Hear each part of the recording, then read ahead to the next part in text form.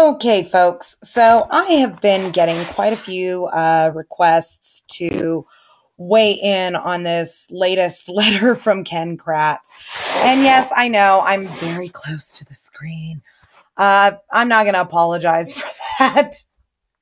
I'm in bed right now. Uh, today is my day off. So, but I wanted to weigh in on this just because it's just absolutely insane. And I'm going to go ahead and, uh, you know, read off this letter. It says Dear Mr. Avery, I got your letter dated August 28th, 2015, wherein you tell me that your visitor list is full and ask if I checked out other fingerprints found on Teresa Halbach's car, telling me that these people could have set you up for this.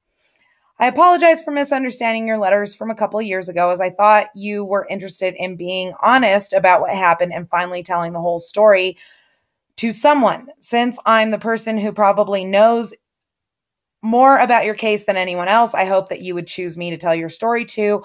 Unfortunately, you only want to continue your nonsense about being set up. That's too bad because you had one opportunity to finally tell all the details, but now that will never happen.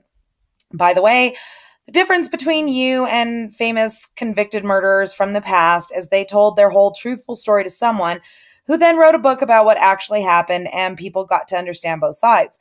I was willing to do that for you, but if you are going to continue to lie about what happened between you and Miss Halbach, I am not interested.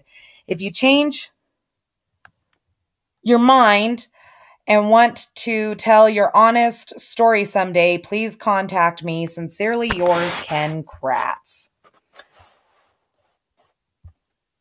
Kratz, are you fucking shitting me with this bullshit? okay, folks, how many times have I told Mr. Kratz, oh, it went out again. Where is my lighter? How many times have I told Mr. Kratz to learn to shut his damn mouth because apparently the boy don't know what the hell that means.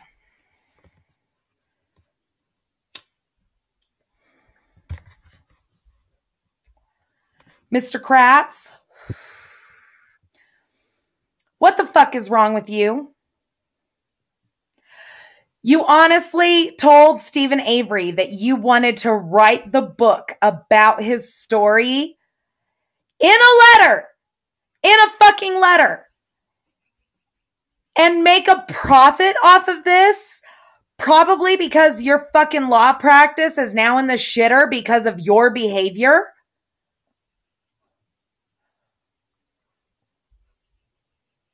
Okay, first of all, if anybody gets to write this book, it's me. I called it.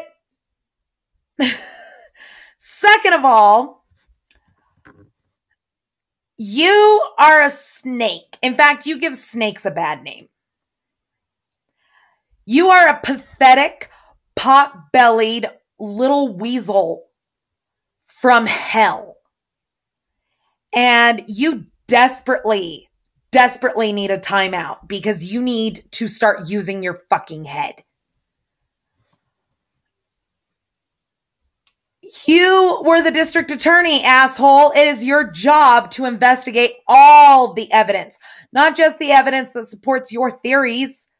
And you didn't do that. You never investigated all of the evidence. You just investigated the evidence that you knew would support your theory because you yourself made sure it was put there.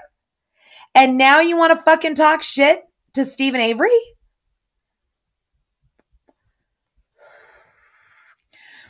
Your reputation is in the toilet, and it's in the toilet because of your actions. Your business is going to shit. You're a joke in the legal community, and it's all because of your actions during this case. Now, if you would like to attempt to defend yourself and redeem yourself, I invite you to do an interview with me via internet connection.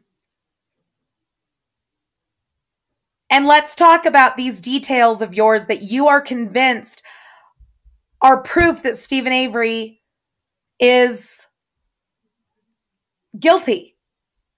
I will happily do an interview with you, Mr. Kratz. And if you convince me, I will fight on your side.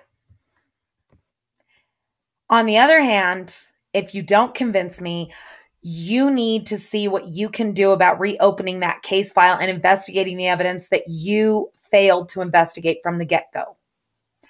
That's my deal, Kratz. And I've got a hell of a following, and it is only getting bigger, baby. So I invite you on my channel. I invite you to join me on my channel, on my YouTube channel, and in, in conduct an interview with me. And let's talk about these points that you are convinced prove Steven Avery's guilt.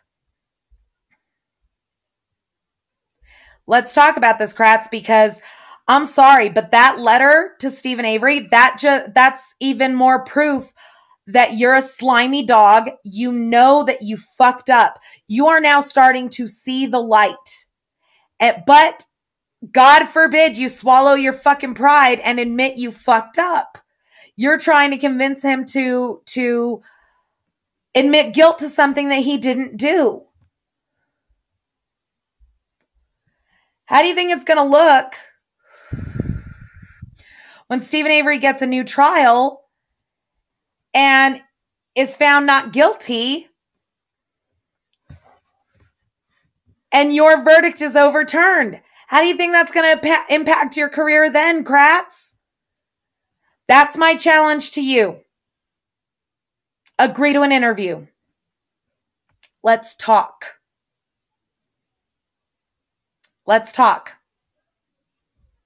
That's my challenge. I challenge you, Kratz. Let's talk and let's see if we can't ferret out the truth here. Thank you all very much for watching. We'll see you in my next video.